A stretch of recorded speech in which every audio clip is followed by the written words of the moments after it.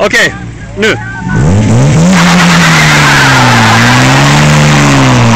Nei, det var en riktig driks på børn altså! Røy, børn börn ordentligt.